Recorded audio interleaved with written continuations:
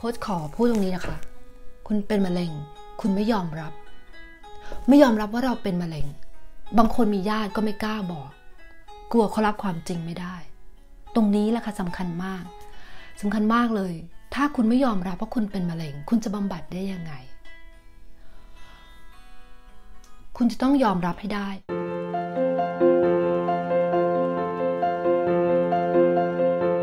เนเธน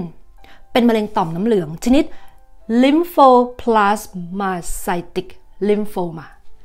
เป็นประเภทที่หมอบอกว่ารักษาได้ยากมาก ๆ เลย แล้วคนเป็นกันน้อยมากเลย แพทย์แผนปัจจุบันไม่มีความรู้มะเร็งชนิดนี้ แต่เขาก็ให้ยาคีโม เหมือนกันค่ะ เหมือนกับอื่น ๆ แล้วปรากฏว่า เขาให้ยาคีโมไม่กี่รอบ เกิดอะไรขึ้น มะเร็งโตขึ้นเรื่อยๆ ใครมีเคสแบบนี้บ้างไหมคะ มะเร็งโตขึ้นเรื่อยๆ เลย เขาก็เลยตัดสินใจหยุดรับยาคีโม ขอ disclaimer ไว้นะคะ โค้ชไม่ได้มาแนะนำให้คุณหยุดรับยาคีโมนะคะ โค้ชมาเล่าเรื่องราวประสบการณ์ ให้คุณฟังเฉยๆ จากหนังสือเล่มนี้นะคะ คุณจะฟังแล้วก็วิจารณญาณยังไงของคุณแล้วแต่นะคะ เขาตัดสินใจหยุดรับยาคีโม เพราะว่ายิ่งให้มะเร็งยิ่งโต ปรากฏว่าหมอของเขาบอกว่าไม่ได้ไม่ได้ ถ้าหยุดยานะ เขาจะมีชีวิตอยู่ได้แค่ 1-2 ปีเท่านั้น ถ้าไม่รับคีโมต่อจะอยู่ได้แค่ 1-2 ปีเท่านั้นเนทแทนเขาคิดค่ะ มันไม่ make sense อะเพราะว่ายิ่งรับยาคีโมมะเร็งยิ่งโตอะเขาก็เลยหยุดแล้วเปลี่ยนมารักษาด้วยทางเลือกแทน เขาดื่มชาสมุนไพรมิสเตอร์โท ใครอยู่ต่างประเทศรู้จักบ้างไหมคะ ที่ต่างประเทศเดี๋ยวโค้ชพยายามนำมาให้นะคะ มีชาสมุนไพรหลายอย่างที่ช่วยในการบำบัดมะเร็ง แต่เขาไม่ได้ทำอย่างเดียวค่ะ ไม่ได้ทำอย่างเดียว ดื่มชาสมุนไพรมิสเตอร์โทแล้วก็พยายามลดความเครียด เพราะเขารู้เขารู้ว่า ความเครียด มีผลทำให้เขาเป็นมะเร็ง สิ่งที่เขาค้นพบคือเขาเป็นอย่างนี้ แล้วโค้ชก็เห็นว่าหลายคน หลายคนมีความรู้สึกอย่างนี้ ไม่อยากรับคีโม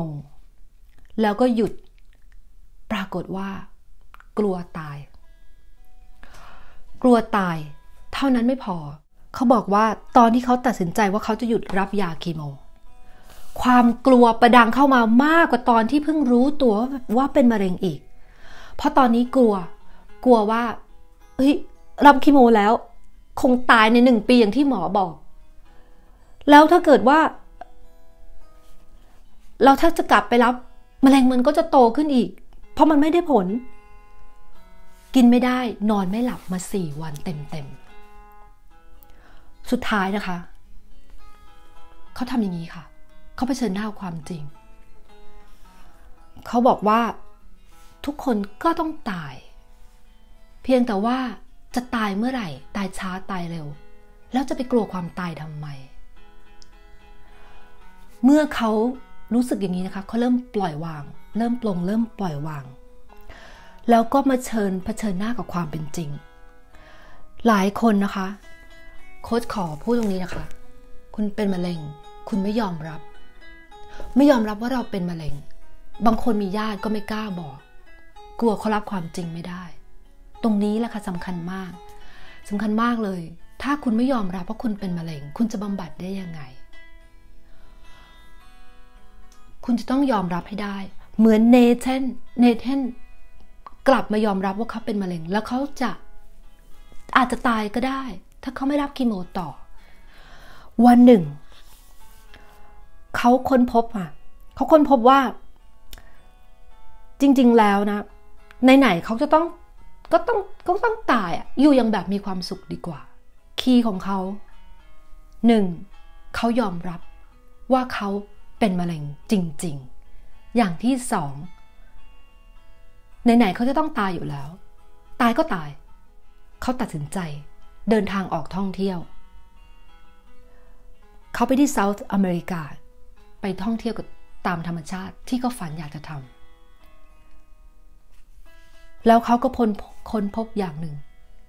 เขาค้นพบว่า คนที่รักษามะเร็งให้เขาได้มีอยู่คนเดียว คือตัวเขาเอง เขาบอกว่าไม่มีใครรักษามะเร็งได้แล้ว นอกจากตัวเขาเอง ตั้งแต่วันนั้นเขารู้สึกเปลี่ยนไปด้วยความสุขขึ้นมา เขาหันมารักษาด้วยแพทย์ทางเลือกใช้ธรรมชาติล้วนๆ แต่ก่อนที่เขาจะทำอย่างนั้นได้ คือเขาตัดสินใจค่ะ ในเทนตัดสินใจ ว่าเขาคือหมอที่ดีที่สุด และเขาคนเดียวเท่านั้นที่จะรักษามะเร็งได้ หลายคนยังมองไม่เห็นตรงนี้นะคะโค้ชอยากชี้ให้เห็นตรงนี้ ว่าเราอะเป็นหมอที่ดีที่สุด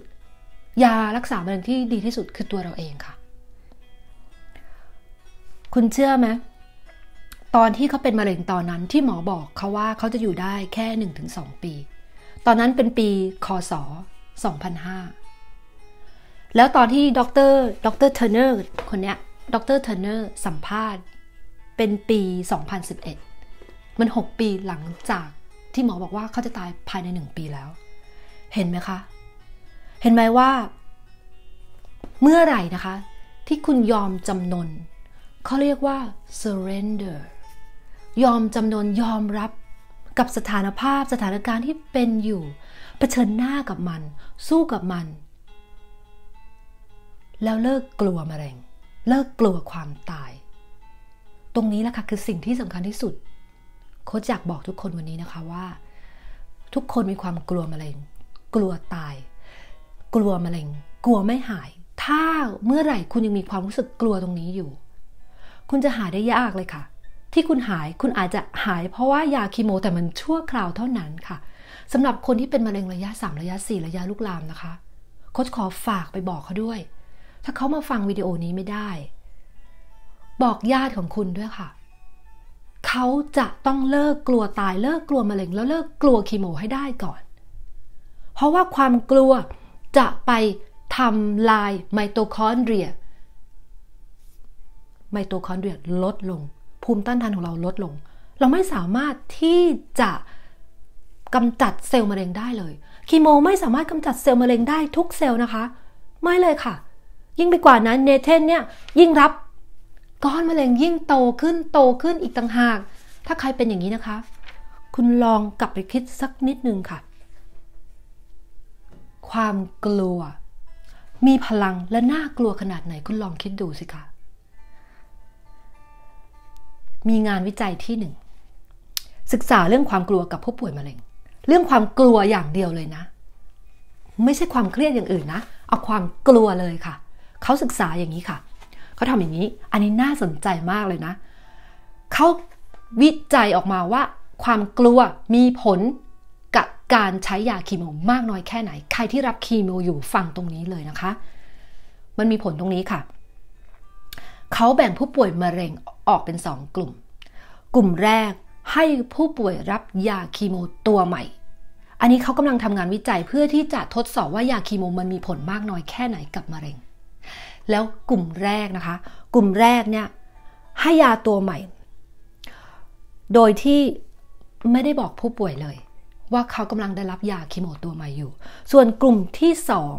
เป็นกลุ่มที่เรียกว่า control group เขาให้ยาให้ยา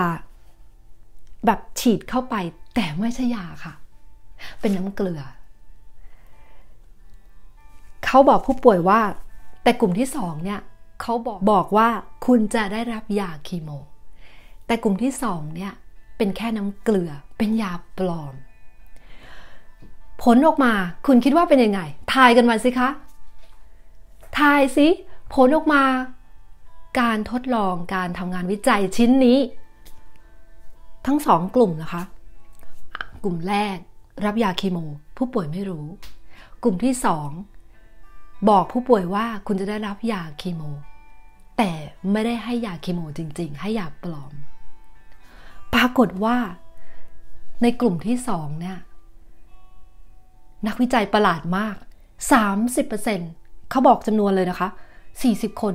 30%จากกลุ่มที่2เนี่ย มีอาการผมร่วงหมดเลยค่ะ ไม่ได้รับยาคีโมจริง ๆทำไมอะ่ะ เพราะว่าคนในกลุ่มที่สองเนี่ย เขาเชื่อว่าเขาได้รับยาคีโม แล้วเขาเชื่อว่าผมเขาจะต้องร่วง คุณคิดดูสิคะว่า ความกลัวยาคีโม กลัวผลข้างเคียง มันน่ากลัวขนาดไหน มันมีพลังขนาดไหนทำให้ผู้ป่วย 30%ของผู้ป่วย ผมร่วงหมดเลย แล้วก็มีอาการข้างเคียงอย่างที่เขาคิดจริง ๆเลย ทั้งๆทที่ไม่ได้รับยา งานวิจัยนี้นะคะ ดรเทอร์เนอร์สรุปให้ฟังเลยค่ะว่า ตราบใดที่คุณยังมีความกลัว กลัวว่าไม่หาย กลัวคีโม กลัวตาย ร่างกายเราไม่สามารถเยียวยาได้เลยค่ะ แล้วเมื่อไหร่ ที่ร่างกายเริ่มเยียวยาได้ด้วยตัวเราเอง ความกลัวของคุณก็จะไม่มีเหมือนกัน มันเดินทางไปด้วยกันไม่ได้ค่ะ เห็นไหมคะ คุณที่กำลังกลัวอยู่ โค้ชขอเตือนนะคะ งานวิจัยก็บอกมาแล้วเขาพิสูจน์ออกมาแล้วว่าความกลัวมีพลังมากขนาดนั้น แล้วเราจะกลัวมันทำไม คุณเผชิญหน้ากับมันเลยค่ะ ขอให้คุณมีความรู้สึกตรงนี้ให้ได้ โค้ชเป็นคนหนึ่งนะคะ ที่เดินเข้าไปรับยาคีโม แล้วไม่มีความกลัวอะไรเลย เข้าเครื่องสแกนไม่มีความกลัวอะไรทั้งนั้นเลยค่ะ แล้ววันที่รับยาคีโม ฉีดก็ฉีดรับก็รับ ตรวจเลือดก็ตรวจ ไม่เคยกลัวอะไรเลย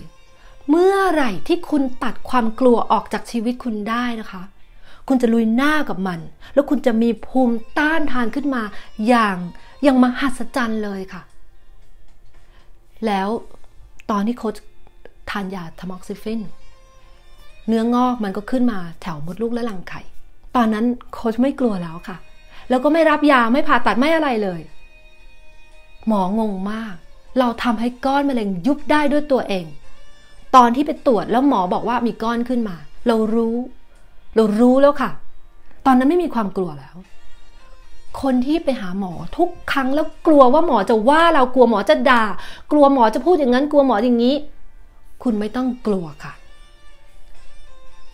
เมื่อไหร่ที่คุณเดินไปหาหมอแล้วคุณเฉยๆแบบชิวๆมากเลย หมอว่ายังไง ฉันไม่สน ฉันรู้ว่าฉันทำอะไร เมื่อนั้นแหละค่ะ คุณจะหายจากมะเร็งอย่างแน่นอนโคชนาตาลีเชื่อว่าคุณทำได้โคชทำมาแล้วค่ะ วันที่เดินไปตรวจ หมอบอกคุณมีก้อนขึ้นมานะ เดี๋ยวใหญ่สามเซนแล้วฉันจะตัดออกเหรอ so what เดี๋ยวจะทำให้ดูว่าจะทำให้ยุบให้ได้ คุณมีความรู้สึกอย่างนี้เมื่อไหร่คุณหายจากมะเร็งได้แน่นอนค่ะ คุณทำได้ หลายๆ คนทำมาแล้ว คนในคลาสเรียนของโค้ชทำมาแล้ว